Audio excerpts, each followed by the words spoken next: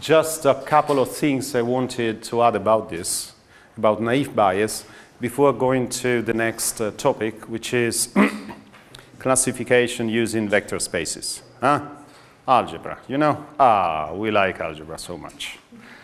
Yeah. So, uh, one of the last things I wanted to tell you is, first of all, which was the first application on naive Bayes classification? One of the first one, uh, of the first applications was SpamAssassin, which apparently seems to work pretty well for spam detection. I mean, email spam detection, you know? Using a number of features. I'm not going to go into the details, but just to, I wanted to make you aware that the method, this very elementary method we just saw, is actually not so naive. Hmm? It is called naive Bayes, but it's not really naive. It can actually discriminate a lot of things. Um, so, essentially, why is it so effective? First of all, because it is not naive. Secondly, because from a, in a computational perspective, it is not that hard. You just need to estimate conditional probabilities. And you do this by counting the occurrences of terms in a document, right? So eventually you, you have to go over the entire document collection. But if you don't do this, at least, what do you want to do? Right? So it is, let's say, asymptotically speaking, it is the least amount of work you may want to do. Um, also, it turns out in practice to be pretty robust to irrelevant features. So irrelevant features are those that will not add a lot of information to what you have. So if you didn't clean your, uh, your data uh, first, I mean, you didn't clean it very well at least, naive Bayes is still relatively robust to the presence of noise terms, for example. Okay? So naive bias uh, has scored pretty well in a number of competitions, now dating back to the 90s, to the end of the 90s. In particular, KDD Cup 97 competition. So what is KDD? This is one of the most prominent conferences on data mining. Mm, KDD stands for Knowledge Discovery from Data. It's perhaps the top conference in data mining in general. Then there is more specialized ones. Okay? So in a way, if you, if you have your own uh, text classification algorithm and you want to compare it with baselines, definitely naive Bayes should be one of those baselines. Okay? Um, just a couple of just a couple of words about evaluation of classification tasks. So you have an algorithm, you want to decide how well it uh, performs on data. Hmm? First of all, what should you do? You have your data set, right? Normally, it's a supervised classification, so you have to train your, your, your algorithm on a training set and then apply it to a test set. Okay? So, how should you do that? Well, first of all, you should keep training data and test data separate. Hmm? It seems pretty intuitive, but it is not always. Sometimes I've seen things that really I don't like, even in submitted papers. Okay? Uh, how can you do that? Well, either you just have a training set on one side and the test set on the other side, but very often in order to uh, increase your statistical significance, you would like to repeat the data, the, the experiment a number of times and then take, for example, average results, hmm? average, the average of the results you got. How are you going to do that? Uh, there is a number of ways to do this. For example, you, you can have, you can take averages both with respect to different training sets and to different test sets. For example, you consider the same, train the same training set, but then you take, I don't know, five different test sets. Hmm? and then you compute your results, your performances, actually your results, your accuracy results for those five different test sets, and then you average. So you divide by five, you sum and divide by five. Or sometimes what people do is the following. You think of this as a as a data set, you, for example, split the data set into five chunks. Hmm? And then you do the following. You do what is called, uh, for example, five-fold cross-validation.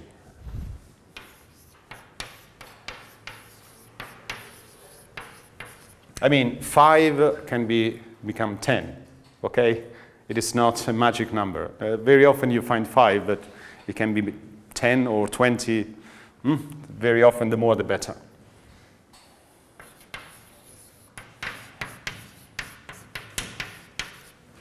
For example, in a circular way, you take the first four chunks as your training set, and the last chunk is your test set. So in this case, you would consider first this one as the training set and this as the test set. Then you would shift by one. This will become your training set and this the test set and so on for five times. If you want to do things even, even more nicely, you can do a random uh, sampling of the training and the test set. And again, apply five-fold uh, cross-validation, okay? But this is two very important things to remember. First of all, keep training set and test set separate for obvious reasons, of course. The, the algorithm will be highly optimized for your training set. So if the test set contains parts of the training set, that's no good. Hmm? Yes, it's a bit cheating. Okay, that's good reason to kill a paper. Second, you can perform, let's say, X-fold cross-validation. Okay?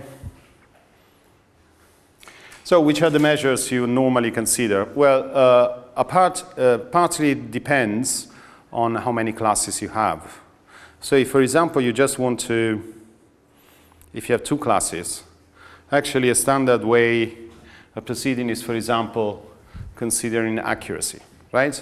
So the fraction of the test documents that you correctly classify. Let's say that, let's assume that you have 50% uh, accuracy. Will you jump and say, yeah, I got 50% or what? Eh? With two classes. 50% hmm? means random choice, okay? So let's say a random classification scheme will do this more or less the same. So 50% is no good. Let's say you get 75%, it starts being more interesting, okay? So what can you do when you have more classes?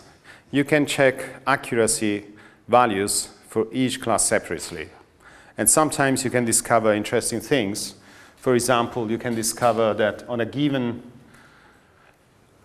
so this was a real classification task considered from 1998. But anyway, you had to, uh, the classes where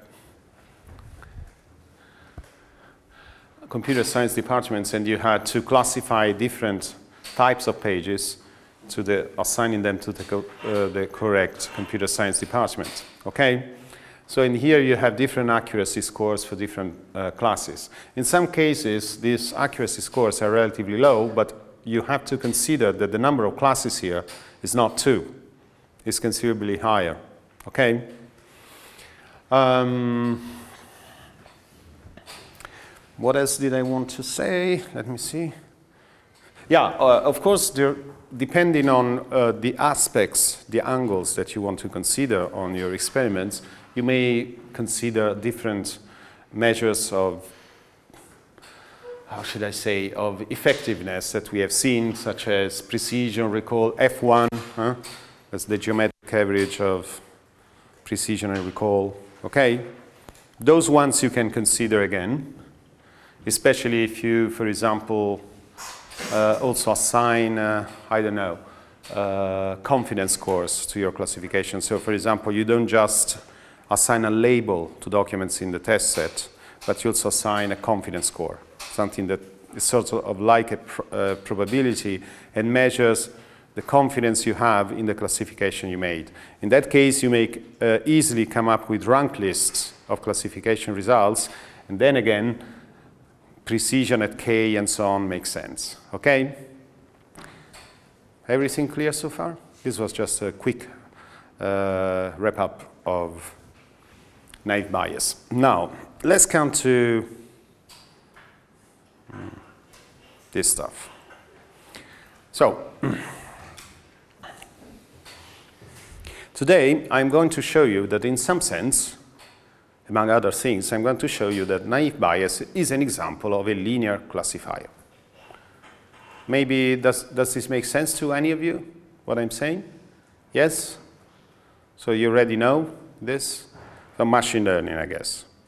To other of you, others of you, it doesn't make sense? Anyone? Who didn't take machine learning? Okay, so for a number of you, it may make little sense. Good, because that's the very reason why I'm here today. So, um, when we consider naive Bayes, we, we're looking at documents very often as bag of words, right? Either as bag of words, for example, the multinomial model, uh, generative model, or as, um, let's say, uh, set vectors. I mean, we're just using binary vectors representing whether or not a term appears in a document. Let's go now to the multinomial case. So for you, a document is a bag of words, and uh, it can be represented as a vector in which each vector has a, each entry of the vector has a weight that reflects in some way the, uh, the frequency with which a given term appears in the document. Okay? You know a lot about this. The weights need not be the simple counts. They may be TF, IDF, whatever. But let's say that for now, for the rest of this lecture, a document for us, or actually another, uh, another type of object, will be a vector with the number of entries equal to the number of dimensions of features that we have, for example, the vocabulary size, and uh, a weight for every entry. Okay? Is that clear? Good. So, one thing that people pretty soon have started uh, to started to do is trying to leverage linear algebra. I mean, whenever you have points from a more or less high dimensional space, maybe, maybe, applying linear, uh, not necessarily linear, but let's say applying algebraic techniques and considering this representation of documents as points in a high dimensional space can, uh, can, uh, um, can benefit you with the possibility of leveraging techniques for dealing with such objects. So many of these techniques are algebraic, okay? They are very sophisticated ones. Today we are going to begin with some, let's say, easy ones. Hmm?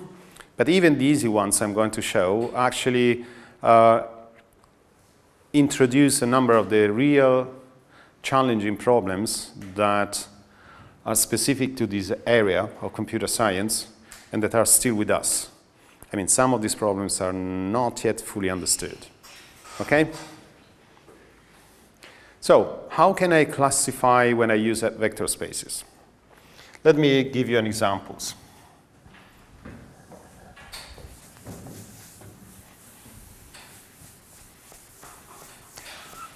So one of the first problems with, with uh, vector spaces is that we are humans. We see two dimensions. Well, actually three dimensions, but when we are at the blackboard, we see two dimensions. Yeah, that's a big problem. Because most of the spaces to be of interest are, uh, have high dimensions, unless you're doing computer graphics, let's say. But otherwise, they have high dimensions. Now, let's consider this simple, uh, this simple problem. We want to find some way to tell, uh, let's say, crosses from circles, okay?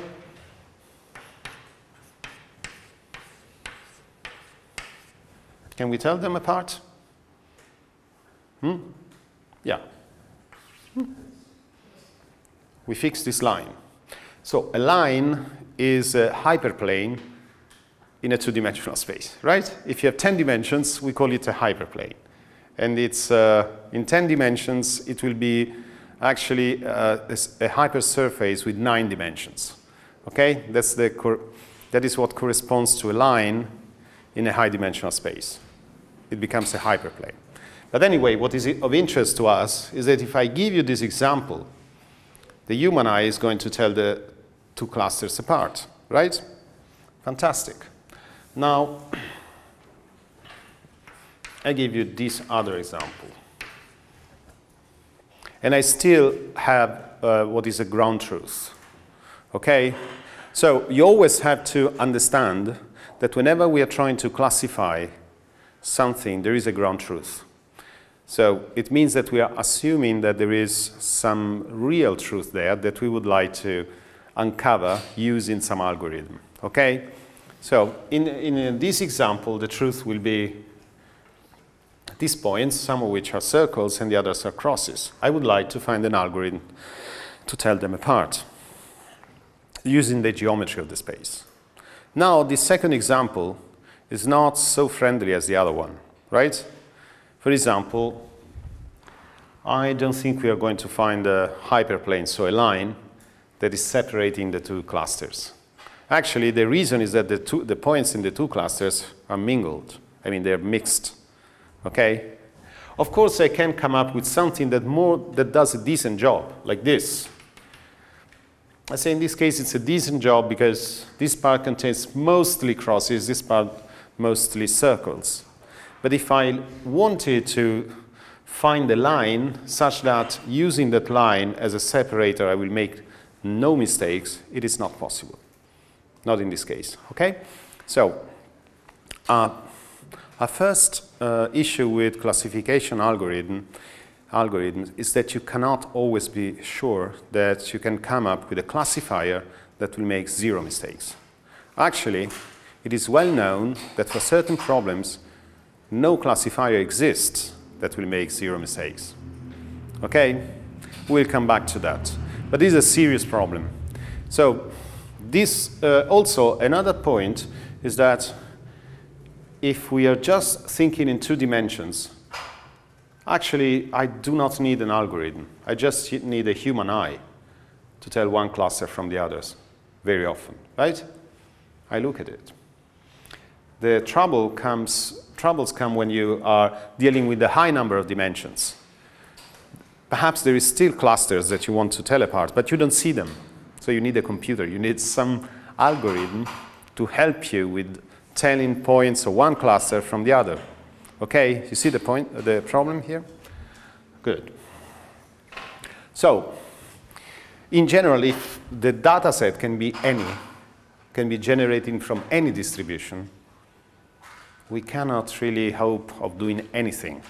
So in a worst case scenario, we will not be able to distinguish anything. Okay? But very often what happens is that the worst case is not so realistic. I mean, if your data points really come up, are, ge are generated through, from two different distributions, hmm? for example, uh, let's say that circles represent documents about sports and crosses represent documents about politics, we can expect actually that if you represent them as points in a vector space, these points will be will present some clustering. So meaning that points, for example, corresponding to documents from politics tend to be closer together, in the average at least, than, uh, uh, points of politics are close to points from sports, right? We can expect that. That's called the contiguity hypothesis which we can, uh, in some sense, summarize in, in these two claims. The first one is probably, uh, if the instance of the problem has a sense, documents in the same class form sort of a contiguous space, so they are clustered together. And also, documents from two different classes will be more or less well separated, okay?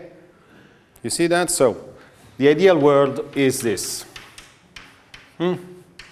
These two hypotheses correspond to a picture like this. Reality is not a picture like this. Let's say it is a picture like this plus some noise. Okay? That is what makes the problem hard.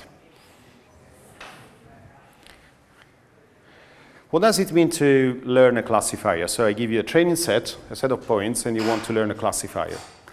It essentially means, in a high dimensional space, to, to learn a surface, in our case it will be, for example, a line that will separate the two uh, subset of points. Okay? I mean, it can be a line, sometimes it will be a surface, not a line. Okay? If it is a line or a hyperplane, we speak of a linear classifier. Uh, otherwise, it is not a nonlinear classifier. Hmm? For example, whenever you use neural networks to classify objects, very often you're in the presence of nonlinear classifiers. Okay? That's why you're using them. Today we will also see an example of a nonlinear classifier, which is the k-nearest neighbor algorithm. Now, I don't know if you realize, actually I don't, but there are three colors in this picture. Huh? Then you have a new, and uh, let's say that's your training set, and then you get a new point, and you want to understand which is the right color to assign to the new point, to your test, uh, to your test point. That's the standard classification problem. We already saw it uh, in the past lecture. So this is what naive Bayes tries to solve in the case of text documents, of text points, right? Um, So even if we didn't see, uh, we didn't look at the problem like here, even with naive Bayes classification, your problem is that of learning uh, a separation of these clusters using uh, hyperplanes. We will see this later. We didn't see this at all for naive Bayes, but later I will show you why naive Bayes is actually a linear classifier. Uh, because it is not obvious it's a linear classifier. That is what you want to learn. Hmm? Um,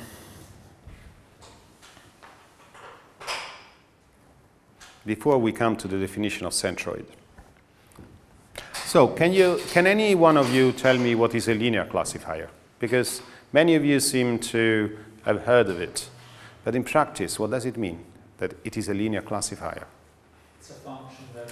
Hmm? It's a function that given a. That given Who is speaking? input- Ah, It's a function that given an input, it's a model. So we are basically looking to learn a function that given an input, gives as output the most probable uh, class of the. great. How do you do that? So Uh, why is it linear? Yeah, I have to look through all the training data for points and classes of points and look for the function that best approximates this correlation between. But it do, could be nonlinear. Yeah. Okay, why, what, what is so special in linear classifiers? I mean, why are they, what does it mean that they are linear? I mean, what your colleague is saying is correct. Okay, I'm just trying to make it more precise. So, what does it mean that it's linear? It means that essentially your algorithm will look like this. Your classification algorithm. So once you have learned the classifier, what are you learning with the classifier? You're learning a set of weights one weight per dimension, per feature of your high dimensional space. Okay? So whenever you have, uh, how should I say, score.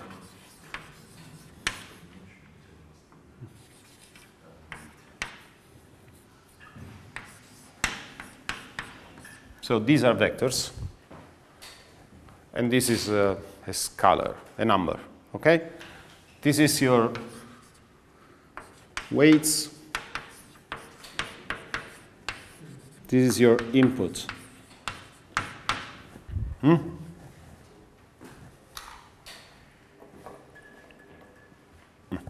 So this is your input. And what are you going to do? The standard linear classifier does the following.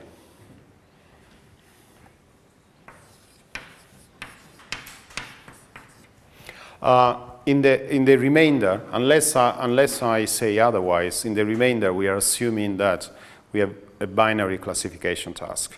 So we want to decide whether a document belongs to a given class or not. Okay? Ah, but how do I solve the problem when you have multiple classes?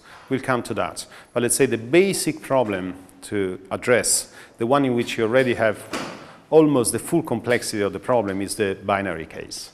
Okay, so we begin with that. So I have one class, let's call it C, and I want to decide whether or not huh, the new point I'm given belongs to the class or not. If I have a, uh, if I have a, um, linear classifier, then essentially the goal, uh, the goal of the learning task is to learn a vector of, a vector of weights, of real weights, and in order to decide whether or not, once I have learned the weights, how I learn the weight is immaterial for the moment. In some way, it may be naive Bayes, it can be something else. It can be support vector machines, it can be something else, okay? But in some way, I learn the weights, and then what I do is the following.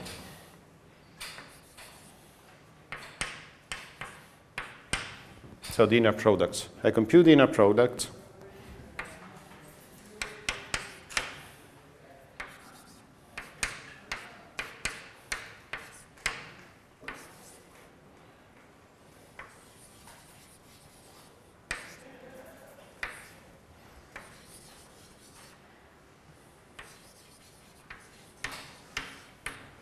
So this is the negated of class C, so rest of the world.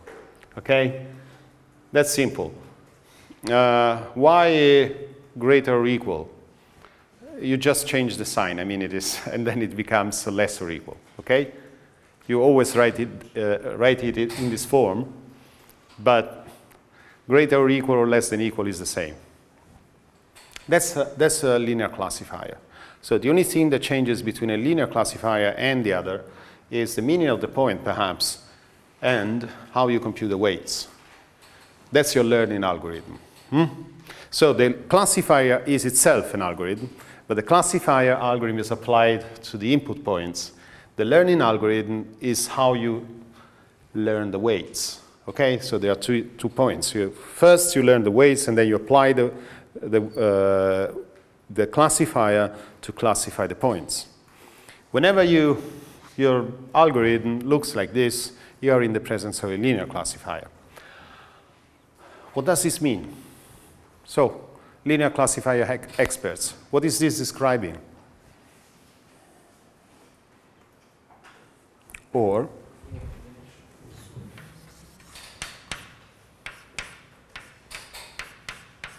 what is this? Linear combination. Hmm? Ah, of course, it's a linear combination, but what is a hyperplane? Yes, your colleague is right. So, if that's a hyperplane, that's the description of a hyperplane, which is simply saying that is simply describing what is common among all the points that belong the to the hyperplane. All the points that belong to the hyperplane have as a common characteristic the fact that their inner product with the weights is a constant. Okay? That is what defines a hyperplane.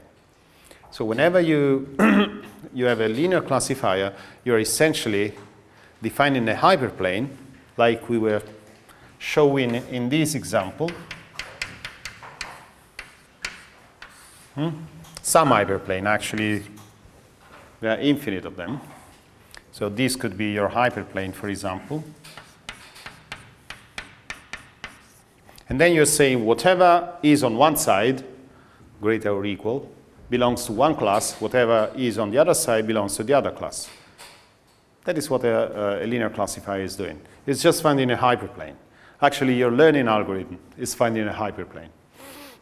okay? Um, this will be useful to to see now Rocchio classification algorithm, which is the first candidate that we are going to consider today. Um, any questions about this? Hmm? Yes or no? No? Good. Okay. So far, so good. So we know what a linear classifier is. now, we need another very important definition which is the notion of, of a centroid. Actually, this stuff is far more important than you may suppose. So a centroid, I give you a set of points, taken, for example, uh, from the subset of the training set that corresponds to the class you're interested in. Hmm? Okay, so I give you a set of vectors in a high dimensional space.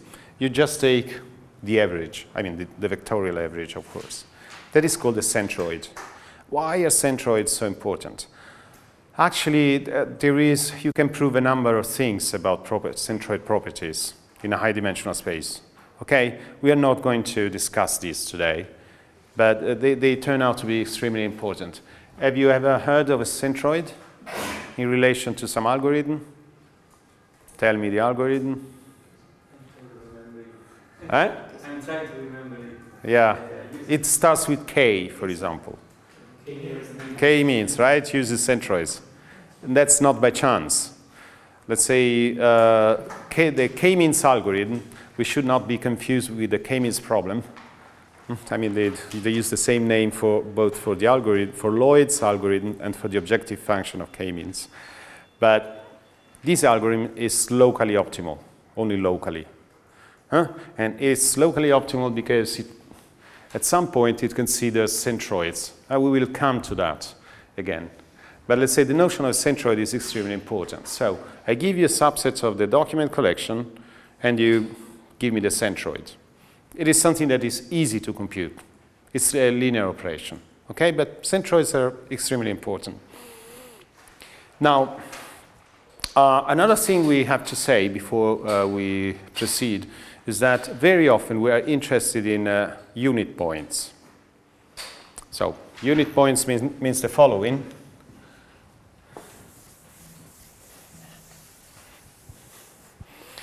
that if you give me documents to process, I will not, uh, so the vectors that correspond to the documents I want to process, I will not consider the original vectors, but rather scale down versions. Hmm? So the, uh, where this is the 2 norm.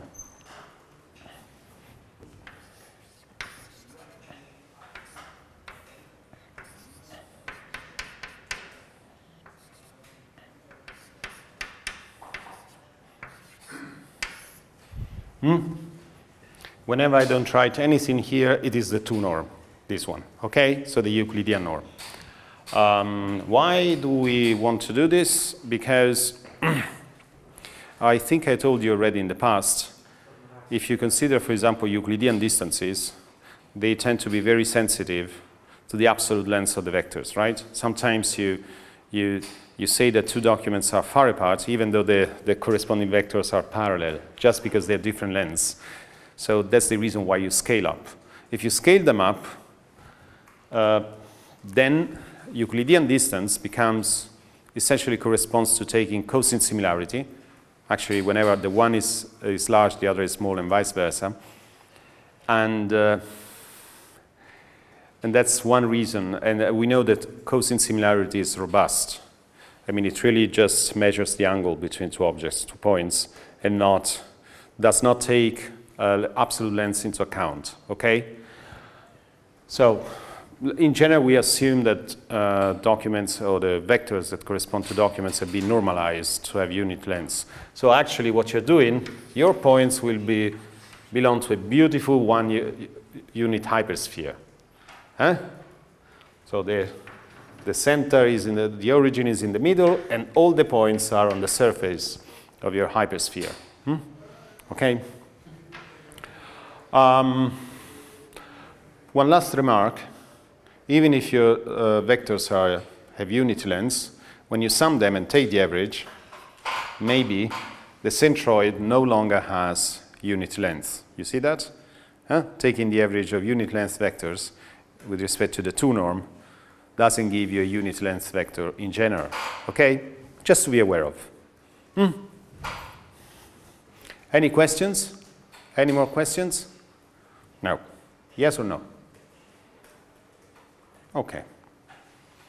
So, well, why not should be asked at the end, not at the beginning. But anyway, uh, you, who knows what Rocchio classification is? Rocchio?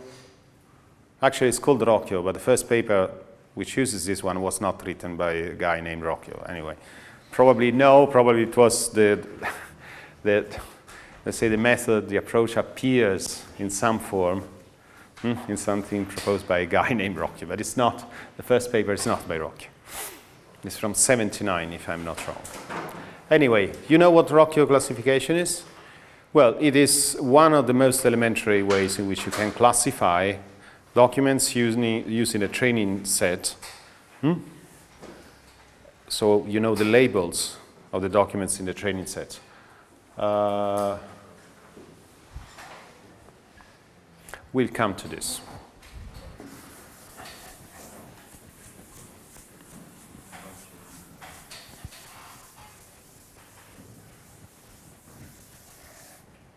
So assume that the set of your classes is for now two classes, but the, uh, but the approach can be generalized to any number of classes, okay? So I just consider two classes for the moment for consistency with the rest, but this applies to k classes. Let's say your classes are hmm? these are the classes, and you have a training set of documents, okay? This is your training set. And let's say that this is the subset of training documents in class C. So you compute the centroid of this class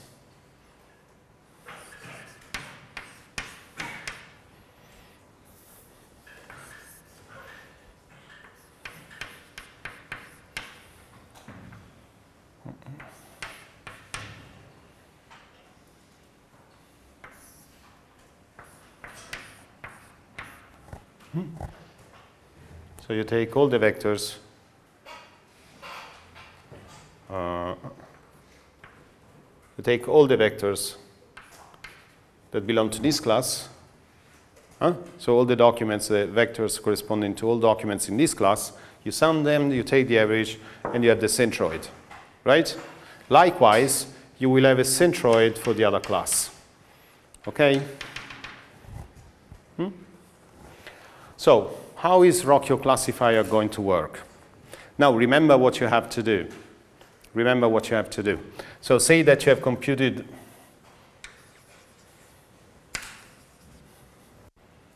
hmm.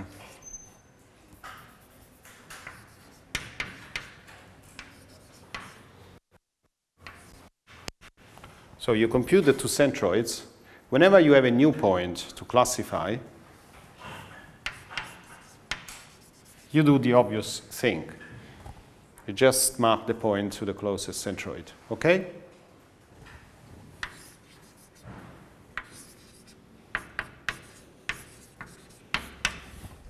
You see it? People, are you okay with this? Huh? If I'm being too fast, you have to stop me. Because if I do not get any feedback from you, I will proceed. Or maybe I'm too slow. I don't know. Is this fine? Okay, so your, in, in some sense, your model is just the two, is just the two centroids, which summarizes all the information you have about the training set. Whenever you get a new point to classify, you just map it to the closest centroid. Makes sense, right? I mean, it's intuitive. This is Rocchio classification. It's uh, very effective. I mean, very effective. It means that it gives you non-terrible results with, a, with little effort. It's, this is definitely not the best classifier. Hmm. But this, uh, let's say that this way of classifying is at least, how should I say, is a subroutine of k-means, for example, of the k-means clustering algorithm. Hmm? So mapping to the closest centroid. That's a subroutine of the k-means algorithm. So it, it deserves attention. At the same time, this is also a linear classifier. Do you see why it is a linear classifier or not? Who can tell me why Rocchio classifier is a linear classifier? You see my question? Huh? Look at the picture, use some creativity, and you will get the answer. Eh. So, what your colleague is saying is the following. Mm. Mm. Look at this. Let's connect these two points for the moment. this is a, uh, this is a, a line. In this case, this is a line. Then I take the hyperplane, which is orthogonal to this line. Let's say, in this case, this is another line. This is my hyperplane, just in the middle. Whatever is on this side will go here. Whatever is on this side will go here, right? So it is a linear classifier. How do we prove this? I, I, I, don't want to prove things. It is only because they help you understand uh, things in a more detail. Hmm? It's a linear classifier, right? So it means that this classifier here, the Rocchio classifier, must be defined in terms of what?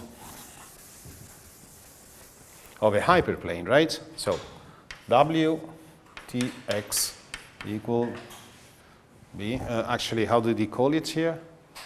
Uh, let me use the same notation. Let's call it theta. It is the same notation used in the book. Huh? I don't want to upset anyone. So let's call it theta, okay? So if I want to claim, argue this is a linear classifier, I have to, I have to say, I have to, to be able to say that this is something like this, so I have to be able to compute the weights and the constant parameter, right? In the end, whenever you do this, you are implicitly learning these parameters, these two parameters. What is W and what is theta in this case?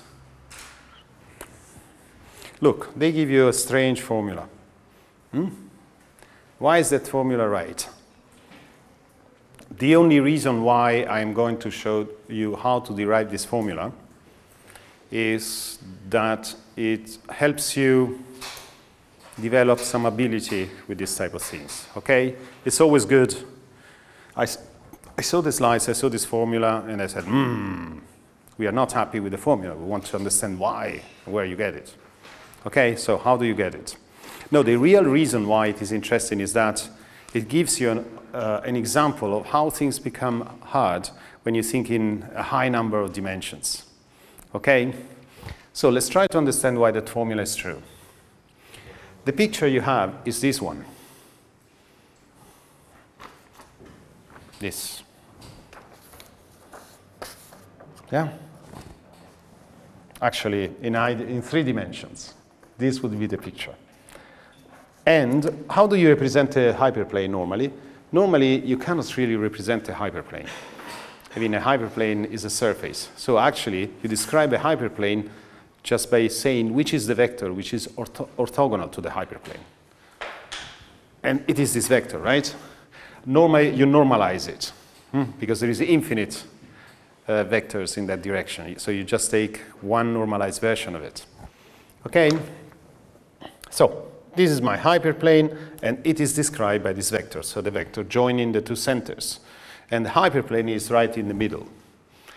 Now, knowing this, I would like to compute this, this vector of coefficients and this value. How can I proceed?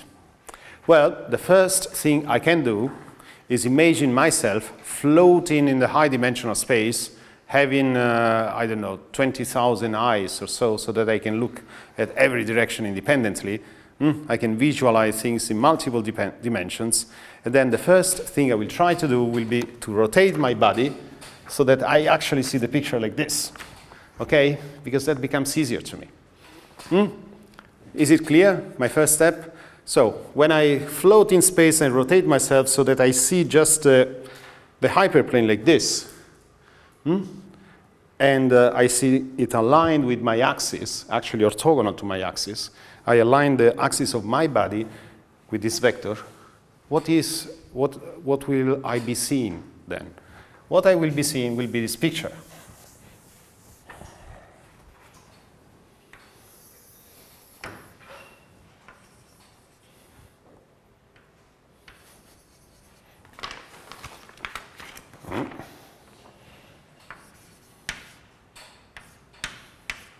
Um, okay, it is C and uh, C negated, actually.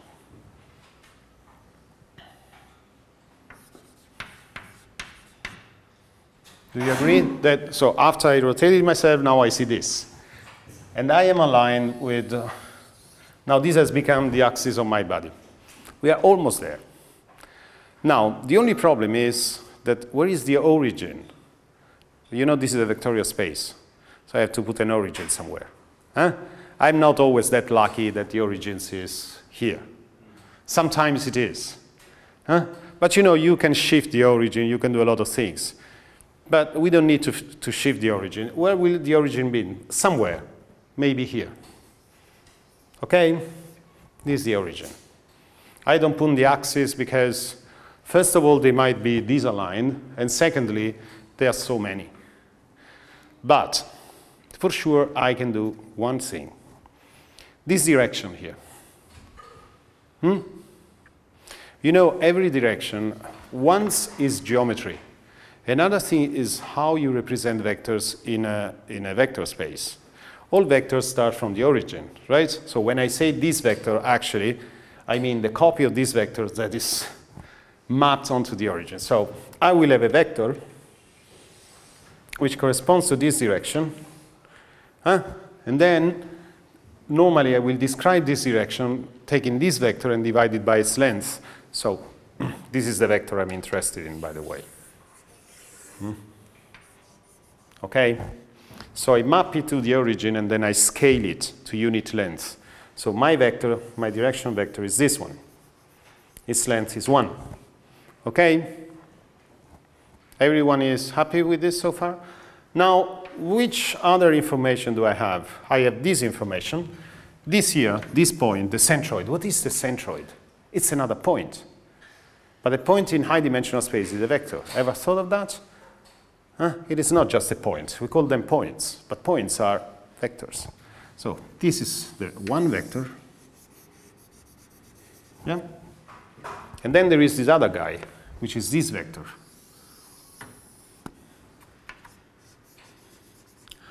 Okay. Why am I doing all this mess? Because I want to write this equation in some sense. I want to understand what this equation corresponds to. So, how do I write this equation? Um, there is only one missing ingredient. Who are the points on the hyperplane? So, the separating surface is this one. Remember, I'm just observing, I'm just uh, observing a slice. This is a hyperplane going infinitely to, in any direction. So let's, let's consider one point, one point x on this hyperplane. Huh? How can I describe x?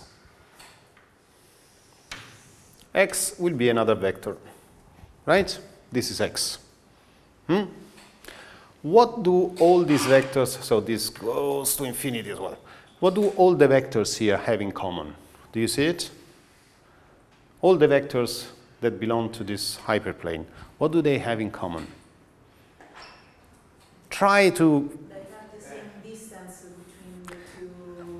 if you take the projection, the projection of these vectors onto this, onto the direction of the vector con uh, connecting the two centroids, the length will be the same. Do you see that? That is the only thing that all these vectors have in common. So, if I take x and I take another vector and I consider its projection onto this direction, I will obtain the same number, right? You see that? Great. So, what makes these vectors belong to the same surface is exactly this, this property. Let's try to write it down. Uh, how do I write it down? That's very simple.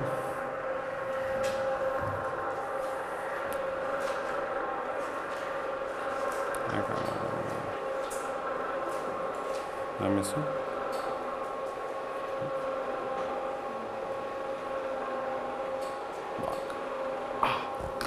Let's blanket. So,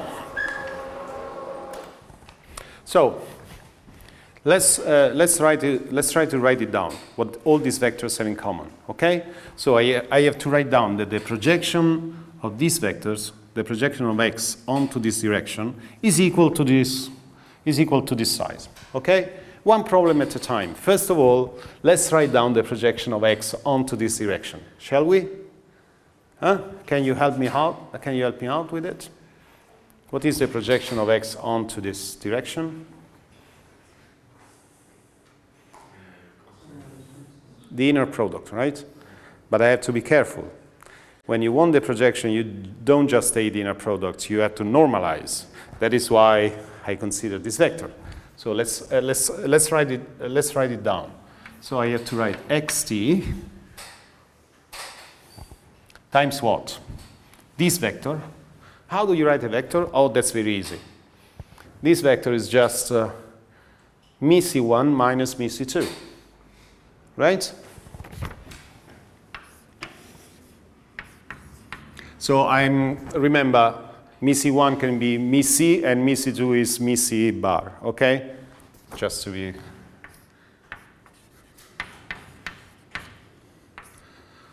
But this is just an inner product. It is not a projection.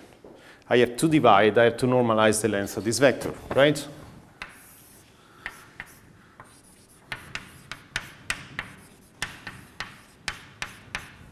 This is a two norm. Now, this is a projection. So what? Now I have to say that this should be equal to this length. You see this length? So how much is this length? Let's see. This length is the following.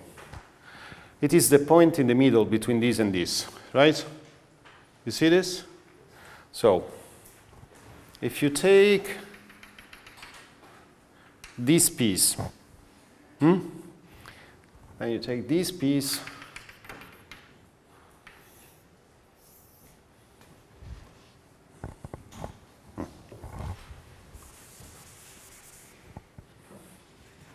So let's call this D1 and uh, this D2. Okay? How much is this length? D1 plus D2 divided 2, right? You agree? Good. How much is D1? D1 is just the inner, is just, is just uh, the projection of uh, mi C1 on this direction, right? You see that?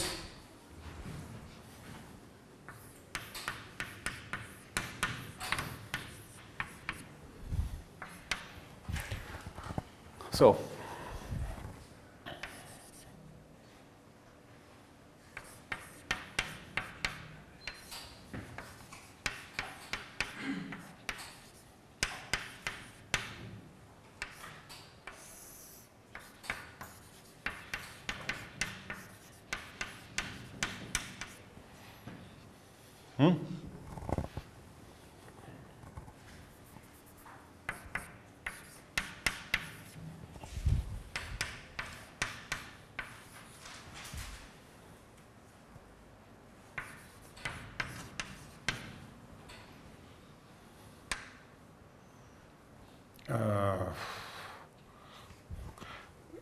wait always a few seconds before copying what I'm writing because I, I can change my mind. Anyway, let's write it like this. Um,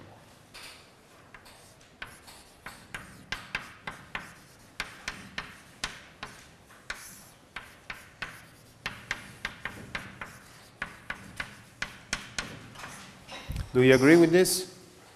I've just written the, so D1 is this. So it is just the inner product be between this and uh, one, the unit vector that represents the direction, right? This is D1 and this is D2. Okay? Who is not convinced of this?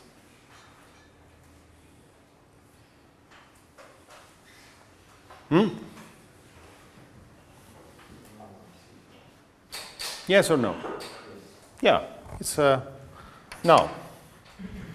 One first point. This is not really important. This appears on both sides, right? So we can remove it.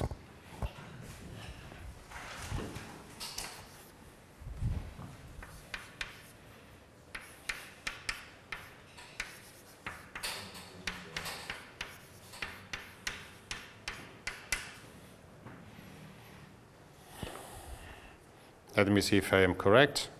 Yes, I am correct, apparently. So now let's, uh, let's just develop, let's just compute, uh, compute what comes out of this. So this is just uh, the squared norm of this vector, right?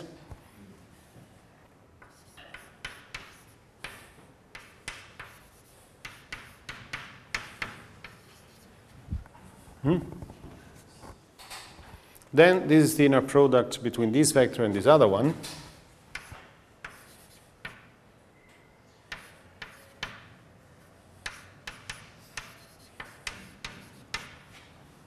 Then I have the inner product between the, the same, uh, sorry, here there is a, a t missing. Hmm? Then I have the inner product between this and this, but it's the same, right? Uh, inner products are symmetric. So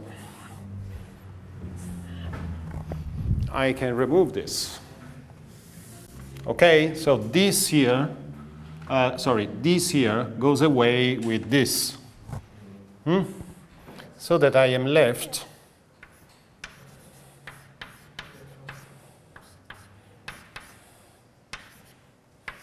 Okay?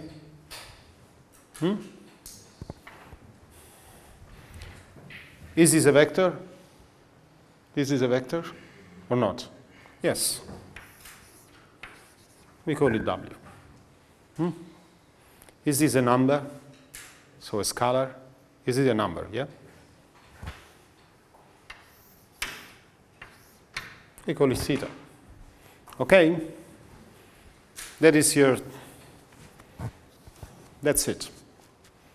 So, I mean, this was not so much about finding the right values for those coefficients, for those parameters. It was just uh, about, I don't know, trying to instill into you the courage uh, of just uh, not being happy with the formula that you see. So you see, I didn't do anything extraordinary, nothing. Okay, it was not something, oh, a deep theorem. There is no deep theorem here. It's just basic uh, geometry. Only sit down and make the damn basic geometry. Okay? Don't be happy with what you see. It is one way to understand what we are talking about. Okay? And that's it. So, Rocchio is a linear classifier. We have discovered, after half an hour, we have discovered that Rocchio is a linear classifier. Wow. That's uh, what, after an hour actually, we discovered that Rocchio is a linear classifier. What a result. No, I'm kidding. It's uh, actually it's a good thing to have. Um, yeah. Another way of seeing this is that if you want to, in principle, if you wanted to apply a Rocchio classifier, you could just build a linear classifier with these coefficients and this parameter. Then you just take the inner product between your inputs, huh? and you check whether the inner product with this vector of weights is larger than theta or smaller. And then you classify accordingly. Hmm. So this is fully equivalent to just instead computing the centroids and then mapping to the closest centroid, whichever you like more. Okay? The centroids you have to compute anyway. Hmm? I mean, the centroids have to be computed anyway.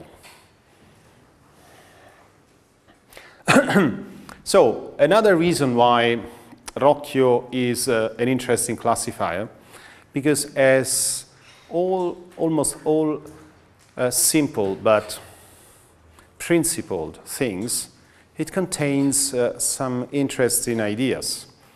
So uh, very often you don't come up with the most beautiful algorithm ever. Very often you, you learn by trial and error. You start with some heuristic, uh, it will work sometimes, it will not work sometimes, but still it is intuitive. You try to understand why it doesn't work, and you try to generalize it to make it more robust and powerful. Okay? So in the case of Rocchio, it turns out that it is actually uh, a, a, simple, a simplified form of something much more sophisticated called uh, Fisher's linear discriminant. So Fisher is the guy, the guy from Fisher's text, you know, p-values, all that stuff. So this guy was a statistician with a very uh, great intuition. Uh, as a mathematician, I don't know how strong he was, but he had a, a great, great intuition. Uh, and in particular, he gives his name also to Fisher's linear discriminant. And actually, um, in some sense, it is a way of trying to characterize directions along which point sets can be separated. Okay? I'm not going to, this is beyond the scope of this course. But just be aware that this is actually a special case of something much more interesting and powerful as well. Uh, how does uh, Rocchio performs in classifying documents? Well, typically worse than naive Bayes, Okay? It's not, as I told you, naive Bayes is not naive at all. Now, uh, before I oh, when are we supposed to take our break? 20. Hmm? Just before uh, we go to, can I cancel this away? Just before we go to KNN, which will be the second part of this lecture, uh, let's try to understand why. So, who can tell me why naive Bayes is a linear classifier? You said naive Bayes is a linear classifier? Yeah. Okay, why?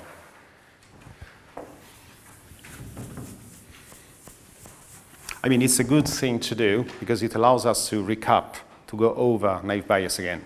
Hmm? See if we missed something, perhaps. So, let's see why this is a naive. Let's try to remember what is the the kernel of naive Bayes classification. Essentially, what you want to do is you want to you estimate these are estimates of your conditional probabilities, and you know is a way of writing that they are proportional to. Hmm?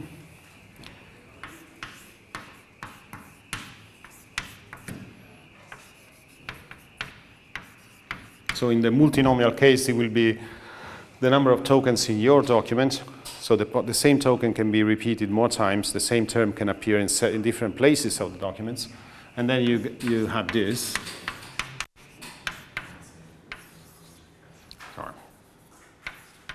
Hmm?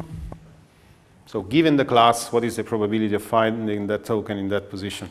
And we know that whenever tk is the same, the probability is the same regardless of the position. I mean, be careful. Don't come to the exam and tell me, no, you know, when you're classifying documents, the probability that a token appears in one position is the same for all position. That's not true. It's true for our model. Eh?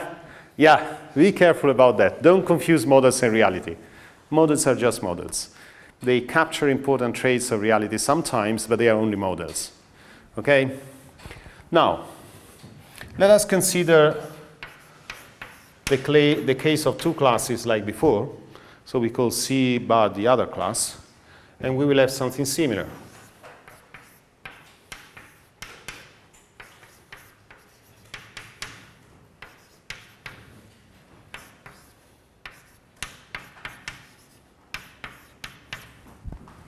Is that correct? Yeah?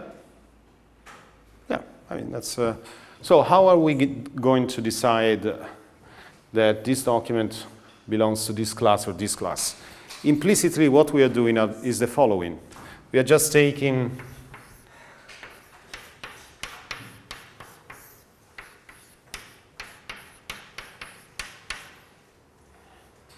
Hmm?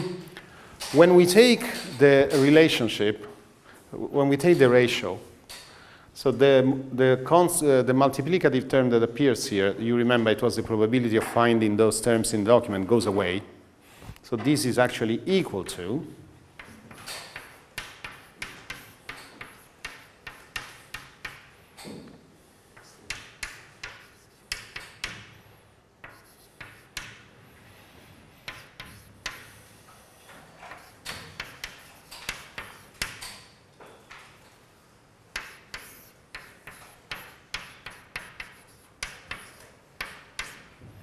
Do you agree? Hmm? You agree with this?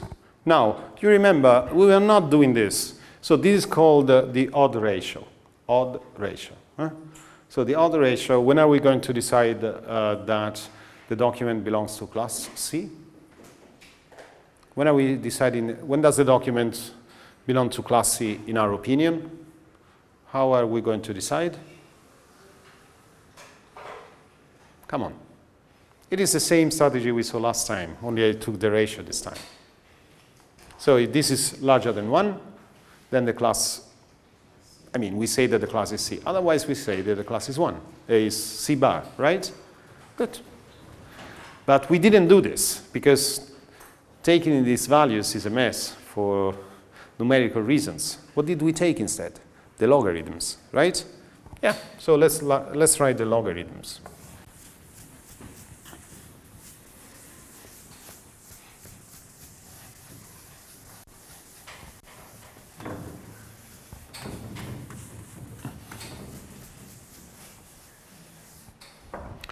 Um, so if we take the log, we will have the log of this, of this ratio,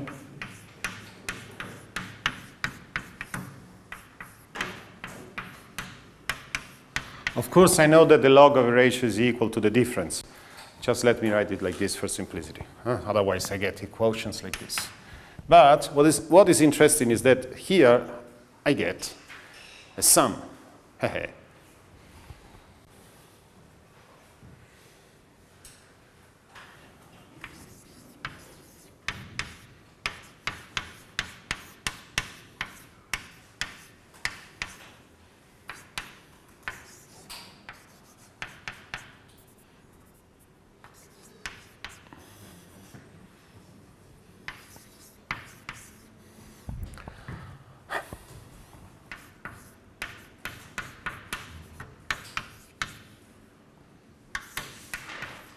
We are almost done. So this doesn't look like a linear classifier. My God. Does it? Let's see. So, well, this is um, this is actually uh, a number, right? This here. Okay? So, okay, let me go over, let me go one next, one more step. So, when we write, when we apply the multinomial model, right, the, Bernoulli, the not the Bernoulli model, the multinomial model, what are we saying? So these are the tokens. So this is the number of terms in the document, right? And every term can appear more than once in the document. We also know another thing in the multinomial model, that whenever tk is the same, this probability is the same, right? By assumption. So we can write this sum not no longer with respect to the positions, so to the number of tokens in the document, but with respect to the terms that appear in the document. You see my point? Huh? Is it clear? So just, uh, just let me be clear. I know I have not a lot of fantasy. A rose is a rose. This is a document. In this case, ND equals 5, right? But the vocabulary here only has one, two, three terms, right? Okay? So, since the probability of finding rose here is the same as the probability of finding rose here, Whenever I find rose, I just put the probability of rose and count the number of times I find rose, right? So let's call V the vocabulary. Hmm? Uh, of course, if the one term does not appear in, uh, in the document, we put a zero. We don't consider it. Okay?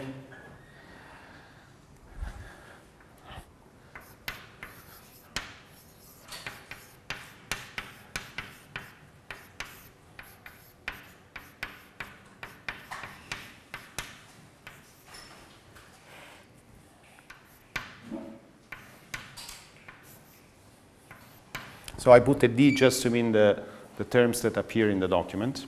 Hmm? Or actually, no, it's enough.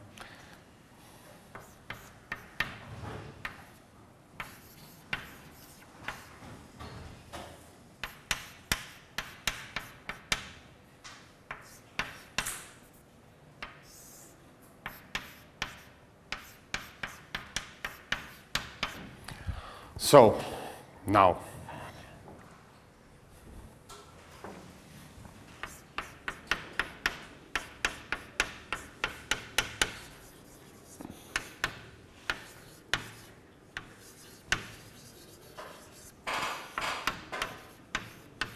Okay, for example, xi would be 2 for rose, 2 for A, and 1 for e's. Okay? You, do you agree that this is the same equation as this one? Actually, I have to honestly say I don't like this notation. I mean, it's a bit sloppy as a notation. Okay, I should, if I wanted to write it nicely, I should work a bit more on it. But uh, it's important that you just understand what I'm saying. You, is, is it okay? So here I just count the number of times the same term appears, and I put a probability. Yes. I just do not understand why the first part with the C given D over What is the first part? uh, the, the first log. The first log, log of PC divided by PC bar? When uh, you rewrite the formula, you put PC given D and PC under. Wait, wait, wait. I don't know. Ah, this one. Oh, because this is a mistake. Oh, that just, uh, there is no other reason other than a mistake. That's my, I, I, I copied. I, I, I'm not able to copy. Let's put it this way. okay? Now it's okay? Great. So, uh, we are almost there. Now, when do I want, when do I decide that the category is C? When this fraction is larger than 1, right? If I take the log, what does it mean? At least 0, right? Good. At least 0.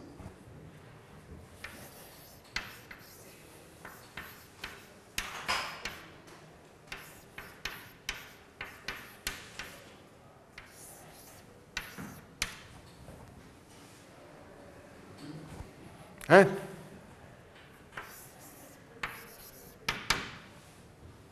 So, the classifier is wi xi at least minus theta. Okay, it's a classifier. See you 15 minutes. Huh?